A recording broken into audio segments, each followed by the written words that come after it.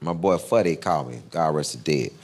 My boy Fuddy called me. He said, yo, hey man, come scoop me. I said, cool.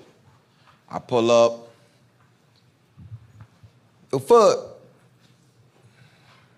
And he said, hold up. I'm about to serve these two cats real quick. There's two dudes walking towards him that he about to serve. And I look.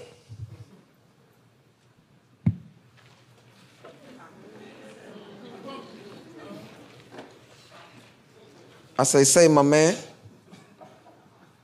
What's your name? He talking about Johnny.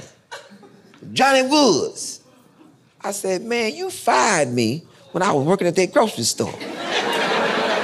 He talking about what you do. I said, I ain't do a goddamn thing. You said I was in the bathroom drinking goddamn Big Mouth Mickeys. I wasn't drinking no goddamn Big Mouth Mickeys. Your ass the one drinking them goddamn Big Mouth Mickeys. He talking about what made you say that? I said, cause you got one in your goddamn hand right now. He said, now look here, youngster, it was either you or me. As you can tell, I got a habit. Yeah, you what you what you uh, what you out here do? You out here you out here working? What you gonna do for your old manager? I said, I ain't finna do shit for you. He said, Well, your ass is fired again. I said, You can't fire me. ain't so goddamn dope, man. You can't fire me.